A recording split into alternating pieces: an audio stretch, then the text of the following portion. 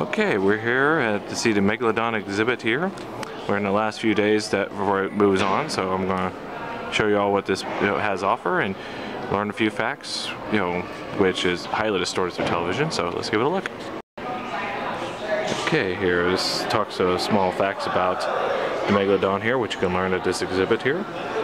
Um, you know, it talks about up on the top here that, you know, from 15 million years before dying two, 2 million years ago. So it's right after the dinosaurs. So, so, but there is a touch of bit of interaction between man and Megalodon, which we'll find out. Let's give it a look. Yeah, up here it talks about um, what little interaction humans have with Megalodon. Is that while the species went extinct, um, before man, we find um, we find their teeth through fossil outcrops by the ocean, what have you. We find them in archaeo archaeology digs. Some of them will even have holes drilled into it to be hung around a um, leather, you know, leather, str leather string or something like that. And here, you know, legends, legends were made involving giant sharks in it, and maybe some of them may be influenced by Megalodon itself.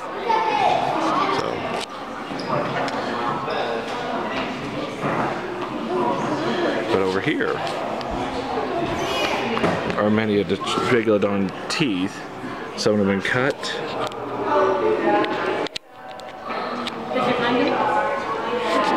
But you can see some of them do have the holes drilled into it.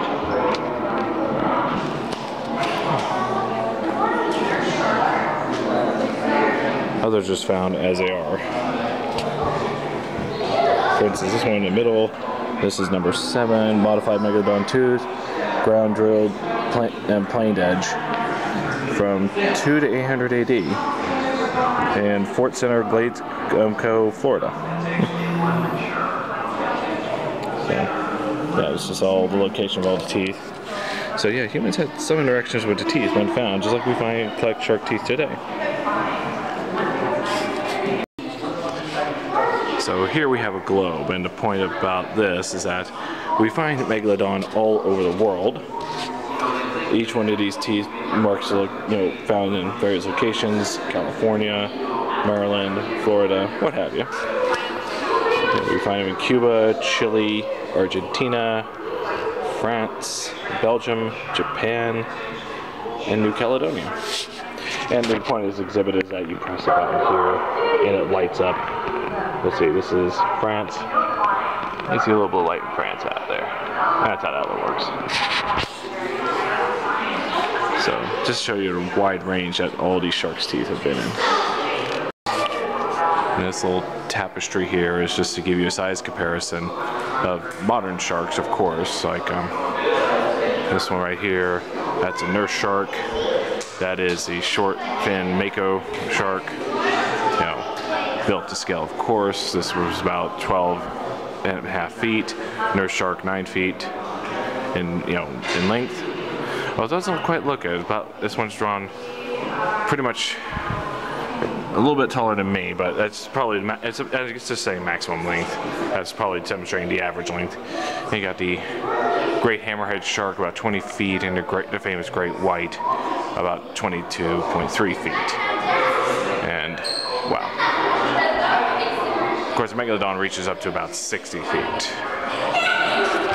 So that's just a comparison to modern sharks.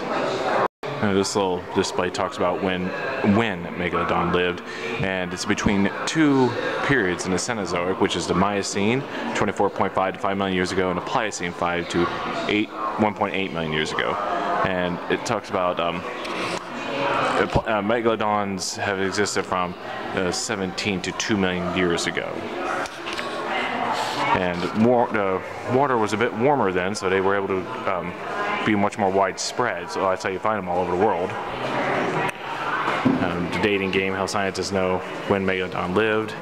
Look, they use a lot of relative dating and numerical dating, which is radioactive decay.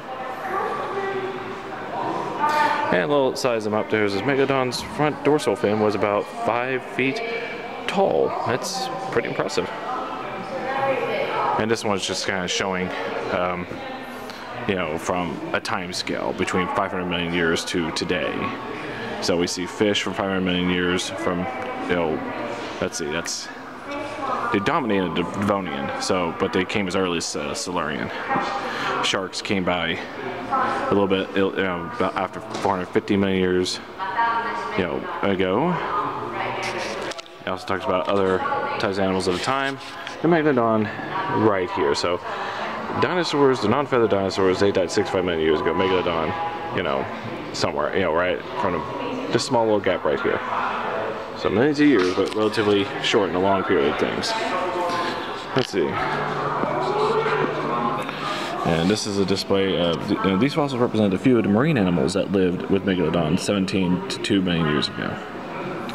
So, for instance, you got a mako shark here, you know, tiger shark number two, sand tiger, you know, it's a sand tiger shark. But that's a great white right down here. And right there is a megalodon. So you see the size comparison. Right now, the current, the biggest shark right now is the great white fearsome as it is, Megalodon was a bit bigger, of course. Now this one right here, that is number seven. That's a baleen whale vertebrate. Just lived at the time of the um, of Megalodon. And of course, it's still alive today. It's a skull a monk seal. Let's see, nine. Um, okay, that one right there, number nine. That's a that's a extinct earless seal. And we have an extinct tooth whale right here. That's that vertebrae in the middle. 11, that's a baleen whale. Auditory bulla. Oh, sorry. And number 12 there, that's a distinct tooth whale right there.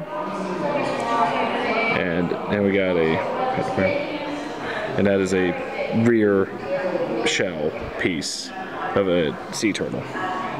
All these right here lived at the time of Megalodon. So, much would like to see him against dinosaurs. This one did not live at that time. This right here is kind of a rough um, frame model showing you the, how big a megalodon is. It's pretty massive. Could swallow a small car if necessary. About 60 feet. It's actually touching the ceiling here. I think it says the dorsal fin. But you can go into it, you know.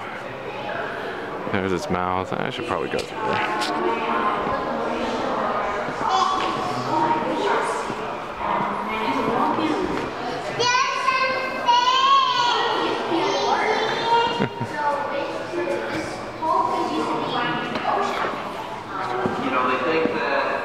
of course.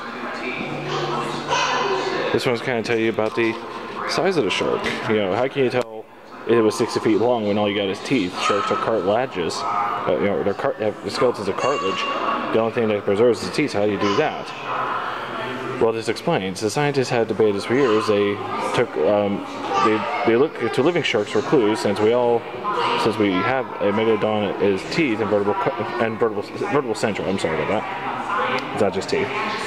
A great white shark is a large living shark with um, teeth similar to megalodon, so scientists use it to estimate body size based on tooth size.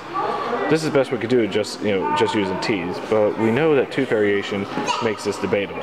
So, so there you got. Uh, let's see, you got this little thing right here. I don't know why it slides, to be honest, but let's see. Uh, what size shark uh, had teeth this big? Uh, let's see. Measure the tooth um, tooth width at the base. So you kind of you measure this here, and move this bar, and you move this bar um, to the tooth, um, tooth width of, with a ruler. So okay, so let's say uh, this right here is just two inches. So we just move this over here to the two inch mark. Uh-huh. So here you got it down to two inches. So the length and body length in feet, a little over 20 feet. So you got that. And that's how this little display works. Of course, Megalodon being five inches. Sorry. It's a five inch, over five inches, so sit right here. And that makes around 60 feet close to that, give or take some variations. Uh, Alright, so basically it's a guesstimate based on what we can understand sharks say. How can we estimate megalodon's teeth? Um, we have we have to oversimplify. We use the great white shark's ratio 1 to 127 uh, of tooth base width to body length. This means that tooth width is 1 127 of the total body length. Assuming that the ratio can be used from, uh, assuming that the ratio can be used megalodon, the tooth is with a five and a half inches, 14 centimeters, based on the um, base. Um, it has a base would yield a body length of 58.2 feet. And there's a simple mathematician of five and a half inches times 127, and divided by 12 inches per foot, you have 58.2 feet. And probably reaches about you know, an estimated of 77 tons. Over here. Um, central dilemma. it's a vertebral column, and extinct. And this is and that's not that's not a megalodon. It's a stink salmon shark. Shark, the uh, shark centra, which are vertebral disc, uh, reveal um, information about shark species. Um, but are generally similar in shape and can be um, difficult to identify. However, there are variations. Note the differences in the surface sculpture between the great white shark, Centra, and out to the left. So let's take a look. Um, this is a great white shark Centra. And let's see. So you can see the, um, the structure of it is a tad different here than say for this. These are slightly larger. These things like this you gotta go in much detail. And over there is a tiger shark. And that's the central column of the Goliath grouper. And uh, the bony fish versus shark centra. This is a huge mixture of the central column. So yeah. Pretty massive.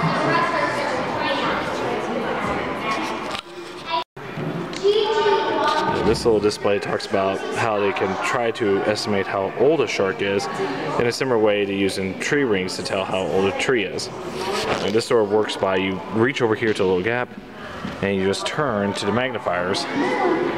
So unfortunately the reflection is kind of bad. But you got two magnifiers and you can try and see, get close up, you can see the rings.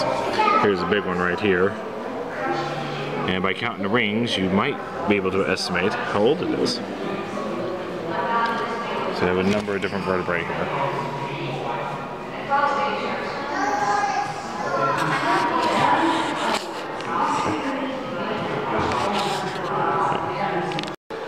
So of course, what did Megalodon eat? Well, anything it wanted.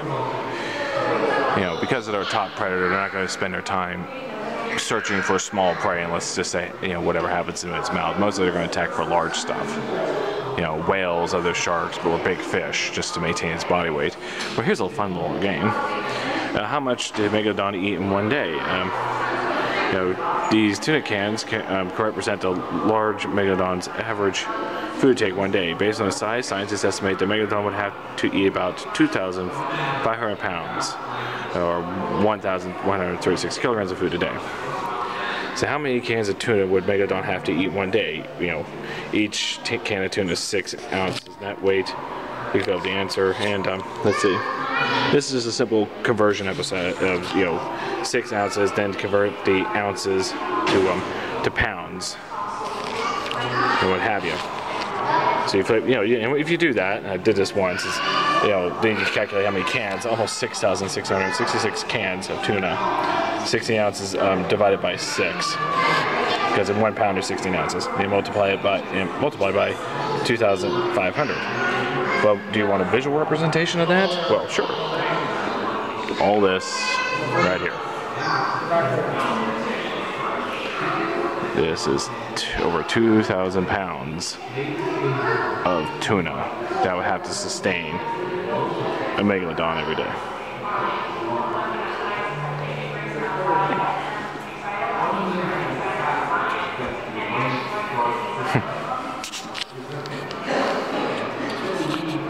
So there you go. Of course, this one, you know, you got your fact and fiction section here. People often confuse Megalodon's place in time. Um, yeah, you know, maybe you want to put it with the dinosaurs, you have the big top predators against each other. No, they were separated. Um, you know, 65 million years ago is when the last non-avian dinosaur died out. Megalodon existed from 17 to 2 million years ago. Of course, the famous, you know, T-Rex. Humans, you know, didn't live at a time. Um, of course, Megalodon did not hunt humans you know, because of, you know, they're separated by at least two million years. And, you know, did humans cause extinction megalodon? No. Yeah, they contributed to, a, climate change at the time. of course, this is a display of reproduced jaws. Jaws in sharks don't preserve very well because they're cartilage again. But these displays are made with reproduced and actual megalodon teeth. And this is the idea, you know, the smallest one here is about, if it was 30 feet long, that's the size of its mouth. And of course, at uh, to 60 feet, it reaches this size. Well, you know, when I showed earlier the um, the aging process, it's still debatable about. There's no real hard way to judge just straight on the teeth how old they are, but they're trying, so they have to explore certain areas. But this means we can't learn anything about them. But yeah, wow. Yeah, I'm glad these went extinct. the ones we got are bad enough.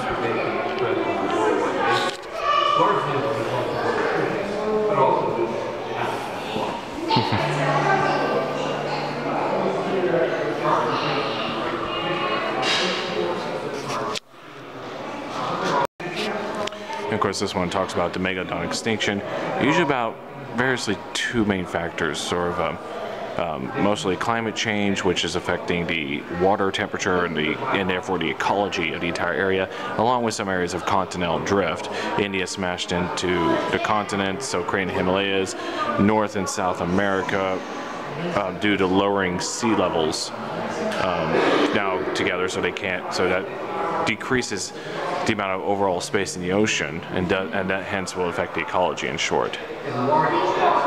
So, just get a short end of that.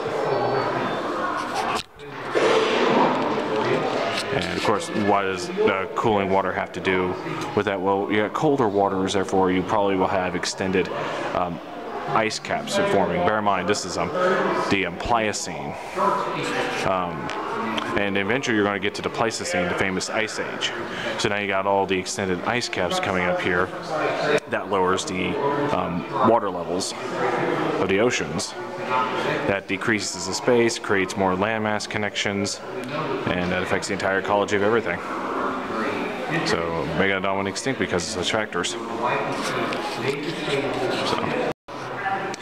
This little display, is, these are cast of megalodon teeth that was these these were from the real fossils, but they're from the most complete set of megalodon teeth ever found. And they were collected in Polk County, Florida in 1987. And 98 teeth were um, found, including almost all front row teeth and many teeth from, um, from rear rows. Um, so this amazing find is represented here uh, by casts made from real fossils. The length of the megalodon was about 35 feet, based on you know all this and what little we can do here. And of course, uh, we call these megalodon, but bear in mind, megalodon is a genus epithet. You know how you have, you know, basically calling it megalodon is like calling us humans sapiens, as in Homo sapiens. But the actual ones is come megalodon. That's the actual species name. It's a combination of Greek words. Concaro, which is sharp and pointy or jagged, and Kles, which is famous. And megalodon, many out, is, large tooth. Know. So it's a famous sharp, famous large sharp tooth. Um, um, it, um, oh, sorry about that. So it's a famous sharp, you know, sharp large tooth. That's basically what it says.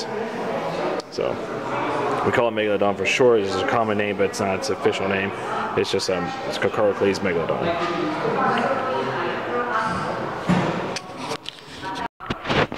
So despite the fact that Megalodon's been extinct for around 2 million years, we're fascinated by because, well, we've always been fascinated by sharks, But here we have access to a shark. Well, we have only access to a shark through fossil records. So, like dinosaurs, there's that sort of distance that gives us sort of mysterious, um, draws the imagination.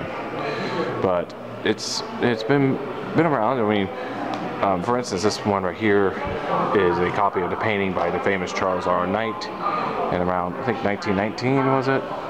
Yeah, 1919. Yeah. And so we've known about Car um, Carcharocles Megalodon for quite a while. Now, granted, when I look at this picture, I really don't picture the size, not like other displays here. But because we're fascinated at, we are, um, of course, in popular culture over last, especially over the last 20 years or so, um, we've always been fascinated by sharks, and, we, and Megalodon being the biggest, we got to put in everything. Um, you know, these are um, these are books, and of course, many of you already figures The Meg by Steve Alten, which you know, this, this is the book cover. Of course, they, you know about the movie.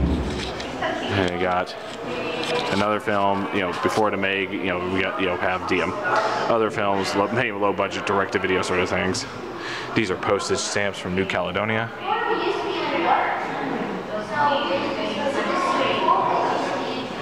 But it even talks about um, which games feature about this. See, and of course, if you play Dungeons and Dragons, yeah, of course you see you know, the Megalodon in that. But it's also featuring Shark Hunting, The Great White, Ocean Hunter arcade game, and the Dungeons Dragons family role Dungeons and Dragons family role playing game. And you got books for kids and such, even wearable stuff. Leather jacket with some shark fins attached, helmet to go with it.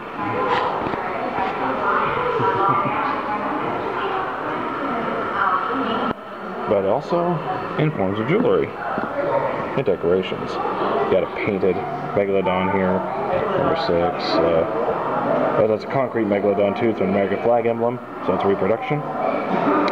Uh, this one right here, glass uh, megalodon tooth.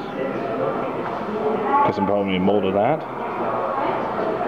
And what we have here, 11 and 12, the megalodon tooth necklaces. And we'll see this one right here. That's a that's a megalodon tooth necklace, and that's a surfer necklace from Hawaii. Of course, over here is already let's see, eight, nine, ten. These are ornamented megalodon teeth. Let's see. This one right here, number eight. It's got some silver. Um, it's got some amethyst, blue topaz, cubic zirconium one number nine here. Um, ornamented megalodon tooth uh, with silver, cultured pearl, cubic zirconium, and enamel. So you can see the pearl right on that top there. This one right here, uh, let's see, silver, ruby, and enamel. so yes, we've always fascinated with things that are very large but inaccessible to us. And we show that off through our, you know, through various means. Of course, um, you could ask why do we care about Megalodon from a scientific perspective? Well, this display shows that um, it tells Megalodon can tell us about the relationship between other sharks, and also going to teach us about shark conservation because um, yeah, they're not alive today, but it's be surprised how even things like um, continental drift and um, climate change would even devastate even whole species and affect the whole ecology because of it, because they're top predators. We don't treat mother sharks too great either. You know, we see we make food, pollution, overfishing, what have you. So it's good to try and find balance things out. So